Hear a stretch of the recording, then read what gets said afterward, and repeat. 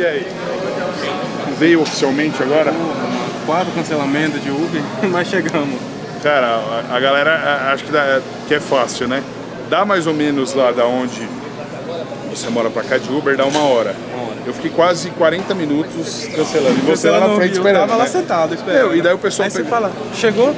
Chegou não, então passou direto e não viu. Porra, mas não tava achando, não tinha Não, chegado, na verdade. E, e teve uma, uma menina que pegou e mandou mensagem e falou, ó, é, aonde que é? Daí eu expliquei pra ela, eu falei, mas não tem endereço aí? Daí eu expliquei, ela falou, ah, mas é muito longe.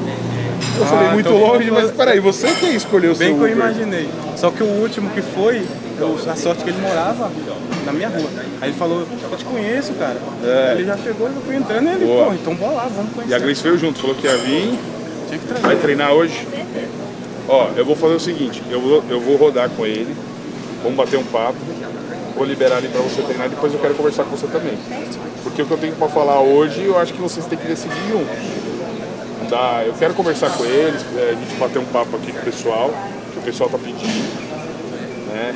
É, a gente foi quando? Sexta-feira? É sexta-feira. Foi sexta, cara, de sexta pra cá, cara, o que me mandaram de mensagem? Mandaram, muita gente. caramba, mano. Foi muita também, mandaram pra ela Vamos- também, mandaram é, pra mim. Vamos lá que eu vou te liberar pra você treinar. Pantera.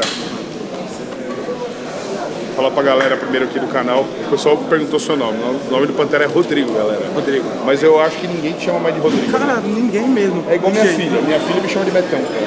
Aí, ó, conheceu pelo dono. Vamos rodar aqui com a academia aqui pra te mostrar? Pra você contar um pouco da história pra galera. Você, ah, quando a gente conversou lá, você falou que você já veio aqui na academia, né? No dia que o Toguro veio gravar o podcast. Você chegou a treinar aqui? Treinei, fiz um treino de costa. Você treinou? Costa, sim. Treinou sozinho ou treinou com alguém? Não, eu treinei só. Você viu a diversidade de máquinas que tem aqui? Ah, tá louco, rapaz. Nem. Não sei nem. Nunca nem vi, na verdade, umas máquinas que tem aqui. Então, só cheguei aqui na, na de costa e nem passei pra lá. Só, só fiz só. É, hoje, para você ter uma ideia, o Pantera aqui, a gente, nessa unidade específica que é a matriz da Ironberg, além de a gente ter todos os, os grandes atletas do Brasil, cara, a gente tem atletas de fora que estão querendo vir para cá. A gente está em negociação com três assim, atletas nível Olímpia, que estão querendo vir fazer preparação de Ohio, até do, do, do próprio Olímpia, que já estão classificados, vir para cá para fazer preparação. Então, assim, não é só o trabalho que a gente faz por trás com os atletas, é a estrutura que a gente tem para atender, né? É um todo, né? É um treinador, é coach. Coach, você já tem o, o Diogo, que você já tá com um cara que é referência, né? Só, só para mostrar pra galera, a gente falou no, no outro vídeo, o Diogo Montenegro, além de ser top 3, ele foi o cara que colocou o Edivan Palmeira, estreou no Olímpia top 5, Lado a né? lado, né, com o cara. Então, Então você imagina, né? Você imagina dele, então- de coach você tá- já tá bem Já servido. tá de boa. Além de coach, cara, eu considero o Diogo como um pai, cara. Não vou te mentir. Eu considero o Diogo como pai. Porque ele, ele, ele mesmo, ele acompanhou a minha trajetória de um ano atrás até, até hoje. Ele, É. ele, ele, ele conhece por baixo a minha história. Não, Sem e, ele me conhecer, ele já e, e pra eu te chamar aqui hoje, Pantera, eu não, não foi à toa. Claro que foi um pedido do Toguro especial. O Toguro, né, só dos... Nem, nem vou falar dos midiáticos, né, de vários que, que ele ajudou a revelar ou, ou fez parte de alguma forma, mas de atletas, né? A gente tem... A Loura do Sul virou pro, né? Se não me engano, ela virou pro. tá em busca da vaga pro Olímpia. O Gnomo, que agora acho que vai competir em Ohio, buscando o pro. o Pro, né. E tem o Ramon, que assim, já era o Ramon, já era o atleta, já tinha alguém que, que revelou ele lá atrás como atleta, mas que pegou e lançou ele pro, pro Brasil inteiro, né? E, e foi um pedido dele. Você vê que é, eu nunca tinha ido na Mansão Maromba, eu fui porque ele falou, preciso conversar com você. E ele fez esse pedido, ele falou, preciso do. Você deu uma força, né? No, da mesma forma que você trabalha com todos os atletas na Ironberg, ele pediu isso, né? Daí a gente marcou, lançamos aquele vídeo, muita gente me mandou mensagem. É, eu tinha já, galera, assim, eu estava conversando com o Jorlan, a gente tinha ideia de fazer já alguma coisa nesse sentido a nível de Brasil, para a gente lançar uma pessoa nova, né? E daí agora apareceu você, todo mundo pedindo, só que o que, que você tem que entender? Vamos, vamos- mais para cá, vamos, vamos lá para você conhecer toda a estrutura. No, na, você tem uma genética aí fora de série, mas nas suas preparações, o, o Diogo ele coloca cardio só em finalização, ou coloca cardio Ele bota 20 minutos todos os dias. por aqui, ó. Todo dia? Ó, dá uma olhada aqui pra você ter ideia. Ó, filma ali, ó, Lucas, ó. A gente tem aqui, a gente tem sete escadas. A gente já comprou mais quatro. Vai ter 11. Você fala 11 escadas? Cara, tá sempre cheio. Seja, ontem, ontem era uma hora da manhã, tava todas lotadas. A gente comprou mais quatro. Então assim, pra você entender, não é só a variedade de máquinas, não é só os treinadores, a gente tem, é completo em tudo. Completo em tudo. A sala de pose, isso é importantíssimo. A gente tem aqui, né? É uma estrutura bem, é, bem fora. Vamos, vamos lá para ficar mais tranquilo. Ó, cadeira extensora. Hoje a gente está com sete. Já tem mais quatro que estão vindo. Então nós vamos ter 11 cadeiras extensoras. Ah, você fala, qual que é a diferença cadeira extensora? Cada uma é de um ângulo diferente. Legal. Leg press tem oito, compramos mais um, um diferente do outro, entendeu? Então assim, se você pensar, uma pessoa que está buscando o topo, que é o seu caso, que você quer se tornar um atleta pro, a estrutura tem, né? Com certeza. A estrutura nós temos. Vamos, vamos sentar ali no, no escritório ali, que daí a gente bate um papo. Conversa ali, ó. Vem aqui, ó. Entra aqui, ó. Entra aqui no QG. Fernando. Tudo bem? Tudo certo? Prazer, Prazer, Rodrigão? Pantera. Fernandão cuida da papelada aqui, ó. Senta ali, ó. Pantera. Sua esposa, será que tá treinando? Ela tava nervosa, tava com. Falou que tava com frio na barriga. Ela tá com frio na barriga? Falou, eu falei, relaxa, filho, tá certo. E você sabe que isso, você falou da sua esposa agora, que ela tá com frio na barriga, isso foi uma coisa que para te chamar para você vir aqui, que, que para mim é determinante, assim, não, não, não para sua carreira em si, não que vai mudar, mas para mim é determinante, porque assim, é, um atleta quando ele tem uma esposa, uma namorada, uma, uma família, ele fica mais focado. Exatamente. Por exemplo, o Ramon. O Ramon tem muita gente que fala, ah, o Toguro, o Betão ajudou, outras pessoas, né? muitas pessoas ajudaram o Ramon desde lá atrás, as empresas, né? Ele ajudou demais, né? Porque toda empresa que o Ramon vai hoje, ela muda de cenário. Muda, muda. Muda, muda. A empresa ela é conhecida mundialmente. Um, um- um patrocinador que leva o Ramon, a empresa às vezes é conhecida no Brasil, fica conhecida mundialmente hoje. Entendeu? Então, assim, teve muitas pessoas que ajudaram, mas eu acho que, assim, eu como acompanhei o dia a dia dele durante esses anos, eu vejo que quem fez a diferença na vida dele foi a esposa. Porque, assim, aqui a esposa não aparece, eu apareci, o Toguro, as outras pessoas que ajudaram, foram muitas pessoas, não vou ficar citando o nome aqui, senão daqui a pouco eu vou ter que falar, pô, o vizinho que fez uma marmita para ele, então eu não vou ficar citando nomes, mas muitas pessoas ajudaram na carreira dele, que foram o trampolim, eu fui o trampolim, o Toguro foi o, o principal trampolim, outros, né, que, que, que ajudaram, o primeiro o coach dele, que eu acho que quem encontrou ele agora eu não lembro o nome, Giovanni Sampaio. Gio- Giovanni, né? Márcio Garcia e depois Giovanni Sampaio. Márcio Garcia, né? Um é do Sul, né? Acho que era do Sul, foi um coach.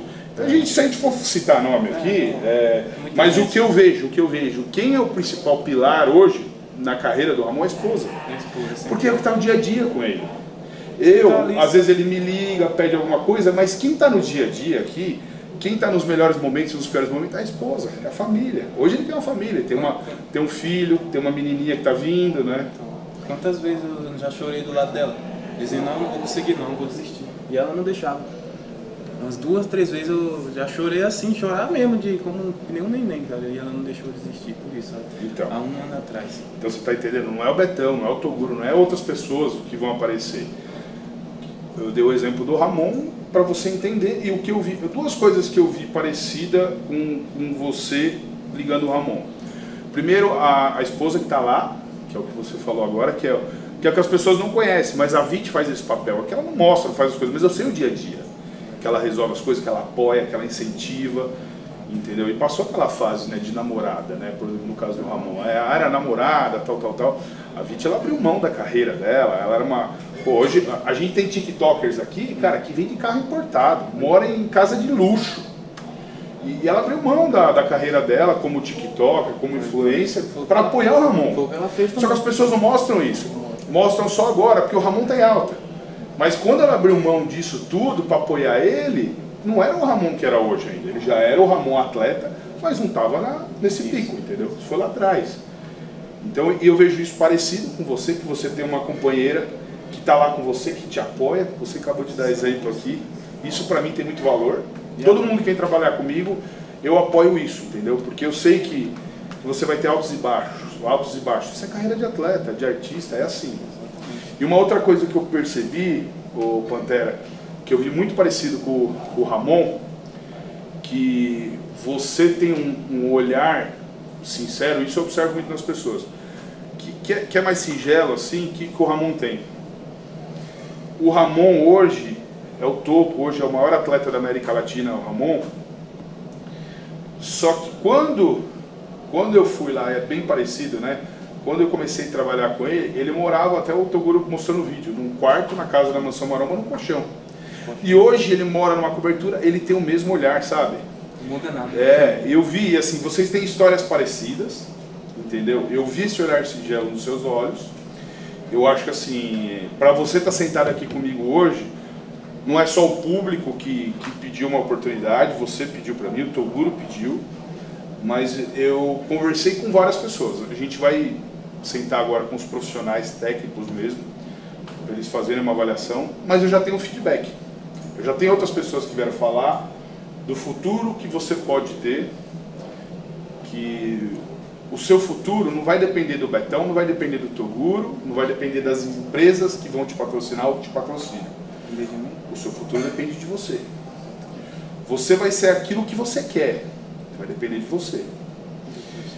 E, e assim, o que você tem que falar para mim, porque quem vai decidir isso aqui, quem vai decidir o seu futuro, é, é o que eu te falei, você é só um trampolim, se caso a gente for trabalhar juntos. Mas quem vai decidir vai ser o público. Então nós vamos jogar isso para o público. Porque da mesma forma que na, nas minhas academias, quem manda são os alunos, por que quem manda são, são os alunos? Porque se eu gosto de fazer um negócio e eu colocar e os alunos não gostarem, cara, eles que pagam. Eles que pagam o, a mensalidade, que pagam o salário do Fernando, que pagam o salário dos professores. Então eu falo que quem manda na, na minhas, nas minhas academias são os alunos. Por isso que eu estou em constante evolução, constante evolução e não vou parar. E aqui no canal é a mesma coisa. A gente pensava em fazer isso, com trazer, fazer uma seleção no Brasil inteiro. Agora surgiu você. Surgiu você sem pretensão nenhuma, o Toguro me ligou, eu fui lá, ele me apresentou, o pessoal começou a falar, eu vou jogar para o público. O público decidir se você merece uma chance. Outra coisa, se o público achar que você merece uma chance, você vai vir para cá, não dá para a gente é, trabalhar dessa forma. Imagina você uma hora para vir, uma hora para voltar, todo dia. Você está disposto a mudar de vida? Se o público falar aqui, a gente vai soltar esse vídeo quando, Lucas? Hoje? Hoje ainda. Vai soltar hoje, hein? Vai soltar hoje. Se o público falar, meu, ó, o Pantera merece essa chance, Betão. Porque não é só hype. Pô, tem caras estourados aqui que são aqui. Não, não é. Se o público decidir que você tem uma chance, você não vai estar assinando um compromisso comigo, com a Iron Bang. Você vai estar assinando um compromisso com o público, com o Brasil. Entendeu? Você, você vai ter que pegar e falar, ó, você está morando lá, né? Quanto tempo você está morando lá naquela casa? Sete meses, né? Você está disposto amanhã a mudar aqui para São Caetano? Até hoje à noite, se der, eu já Hoje à noite? Olha o compromisso. Você está assinando o compromisso com o Brasil, entendeu? De... Eu estou disposto, cara. Ó, quando, ó, eu recebo por dia, para você ter ideia, ô Pantera, por dia, em média de 20 a 30 pedidos de... Hoje aqui, eu cheguei aqui hoje, duas pessoas vieram conversar comigo. Eu falei, ó, eu eu estava em reunião, vim correndo, eu tenho uma gravação com o Pantera gente pode conversar depois? Para você ter uma ideia, ô Pantera, hoje a gente está recebendo é, mensagens de atletas de fora, né? como eu falei ali, de fora que querem vir para cá. Não só por causa do Dyronberg, da estrutura, do que a gente está fazendo, mas o Brasil é a bola da vez hoje. Entendeu? Exatamente. Então por isso que eu te falei. Você tem certeza que você quer isso? Absoluta.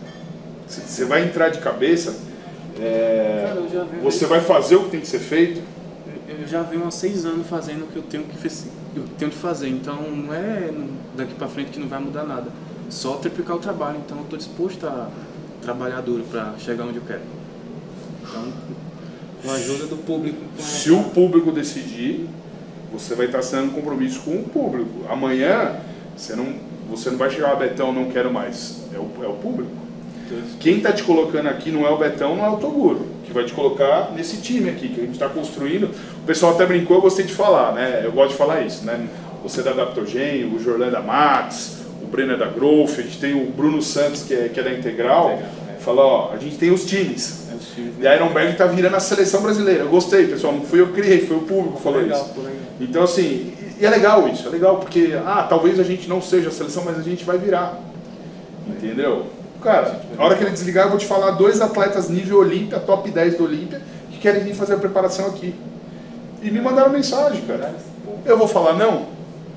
Pô, eu vou falar não? O intercâmbio, você imagina, o intercâmbio, Então- você treinando com um atleta Olímpia e quer vir preparar aqui. Você entendeu? Seria, seria foda. demais. Imagina o tanto que você vai, vai ganhar para sua carreira com isso. Você está preparado para isso? Você tem certeza? Ô- ô, Letão, tô preparadíssimo. cara. É como eu disse, eu já venho fazendo trampo há muito tempo, não é, não é daqui pra frente que vai mudar nada, não.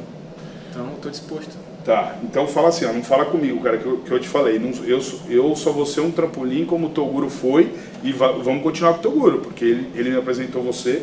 Se caso, manda mensagem pro público e, e, e fala pro público, o público que vai decidir.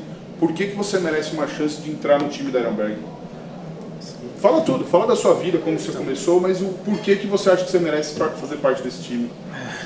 Então, rapaziada, é, primeiramente eu quero agradecer a todos vocês, né, que no, no último vídeo lá, no, no vídeo meu, né, que foi postado aí no canal, vocês comentaram bastante. Eu nunca, eu nunca imaginava que eu ia ler tanto de comentários sobre mim, acredita, cara?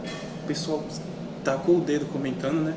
Mas, é, como vocês, a maioria de vocês não conhece a minha história, né? Eu vim da Bahia. é, quando eu saí de casa, eu saí com com 180 reais, que era os 180 reais da passagem, né? E 2 litros de água que eu saí de casa. Aí eu saí de casa com esse dinheiro. Foi a passagem e a água. Eu saí com, com, a cara, co- com a cara e a coragem querendo buscar o meu sonho, né? Então não era coisa pouca que ia me, me abalar, assim. Então eu vim, morei dois meses, assim, dormindo no, numa, numa cama sem, sem colchão, sem nada, né? Então Fiquei dois meses parado, sem trabalhar, o meu, meu amigo que estava me ajudando em tudo. E daí eu comecei a trabalhar, cara, e o povo perguntava pra mim, por como é que você consegue conciliar o seu trabalho com o seu treino, cara? Eu, aí eu, cara, é porque é um sonho que eu tenho, então eu não, eu não vejo obstáculo nisso, obstáculo nisso. Então eu tenho que correr atrás do meu sonho, cara. E já passei muita dificuldade mesmo, antes de eu conhecer a Gleice.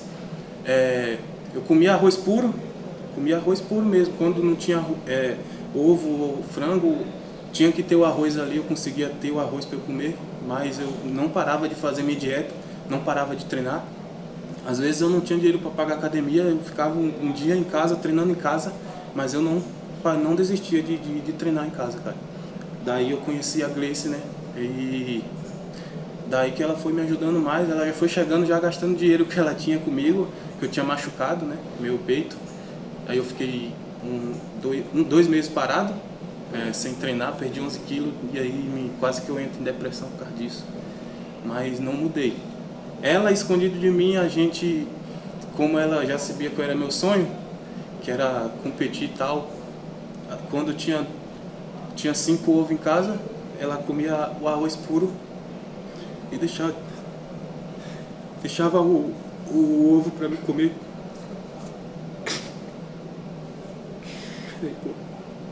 Desculpa, galera. Porque quando eu, eu sempre quando eu lembro disso eu, eu não, eu não consigo, mas é tipo isso, aí a gente vem levando, a gente vem levando e tal. Surgiu a oportunidade do, do Toguro me chamar. Surgiu a oportunidade não. O cara, o dono da- das máquinas do Toguro lá, eh, me chamou pra eu vir na mansão trazer os, os, os aparelhos com ele. Aí ele pediu, pô, pega uma, pega uma bolsa com os panos também, com as roupas suas, e vamos lá pra, pra mansão que eu vou te levar lá. Daí surgiu essa oportunidade, eu falei pra ela, eu vou. E se, se caso o Toguro der certo lá com o Toguro, é, a nossa vida pode mudar, né? Então eu vou. Posso voltar amanhã ou posso voltar mês que vem. Foi assim que eu falei pra ela. E ela falou, então vai. Daí eu tava assim, eu saí do trampo, não saí do trampo. Eu vim, daí o Toguro falou, que eu cheguei lá, né, o Toguro falou, é, quem é tu, cara? De onde você veio? Aí eu falei, eu vim tal, eu vim com ele aí. Aí ele falou, não vai, vo- você não vai voltar mais não. Daí os caras resolveu tudo. larguei meu trampo, a minha, minha esposa, né, que é a Gleice, ficou, ficou um mês e meio sozinha em casa. Ela falou que estava passando dificuldade porque eu não tinha dinheiro, né? Tava na mansão, não tinha como mandar dinheiro para ela, eu tinha saído do trampo. Ela também tava passando uma dificuldadezinha, não vou falar passando fome, que o pessoal tava ajudando ela também. Isso que ela me falou depois, mas eu nem sabia disso. Mas daí eu peguei, deu tudo certo, eu chamei ela pra, pra vir, né? Então, eu, se as coisas der certo aqui, eu vou arrumar o dinheiro aqui, eu vou alugar uma casa e você vem. Só que antes disso ela veio pro meu campeonato, né? A gente, o primeiro campeonato que eu tive, que eu, que eu vim, ela pegou e veio, me ajudou nas câmeras, me gravou tal. E depois voltou de novo, aí eu fiquei cá, ela ficou lá de novo, eu falei, eu vou resolver as coisas aqui pra alugar uma casa pra gente estar tá morando aqui. Aí eu consegui, né, alugar a casa, tinha mil reais, que eu nem eu falei no primeiro vídeo, tinha mil reais. Aluguei a casa, comprei a cama e e aluguei a casa, né? Comprei a cama e aluguei a casa e ela veio. Como que você fazia? Porque você estava com o Diogo, ele passava dieta para você, porque às vezes você tinha dificuldade. Como que você fazia para né? seguir? Ou ele adaptava para você? Então, foi tipo assim, ele, eu falei, eu mandei mensagem para ele. É, ele passou uma dieta para mim primeiro, aí eu falei pro Diogo, Diogo, é, tem como você... É porque eu não tenho muita condição de, de, de fazer essa dieta. Aí ele pegou e falou, vou fazer o mínimo do mínimo pra você Aí ele passava, passou só a dieta básica mesmo. Era arroz, ovo, whey, arroz, ovo, whey, frango e farinha de arroz. Aí a gente conseguiu fazer um bom, uma boa finalização com, esse, com esses ingredientes. Pantera, tá explicado. Para mim, para mim você não precisa falar mais nada. Pessoal, tá com vocês a decisão. Eu falei que, que ia trazer é, tem muita gente que falou, pô, muitas pessoas falaram que era oportunidade pro Pantera, acabaram não dando. Eu me comprometi com você na sexta-feira passada, falei, ó, nós vamos gravar. Hoje eu tinha um compromisso agora, vim para cá porque a gente se comprometeu, então é, honrando com a minha palavra aqui. Eu, eu assim, galera, não sei vocês, mas eu para mim já me convenceu, mas vocês vão decidir. Eu vou sentar agora com vocês, vou pegar os, especialistas agora, vamos fazer uma avaliação com você.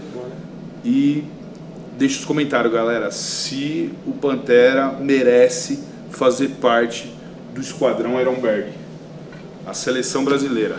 Vocês vão deixar o comentário aqui e vocês vão decidir o futuro do Pantera. Fechado.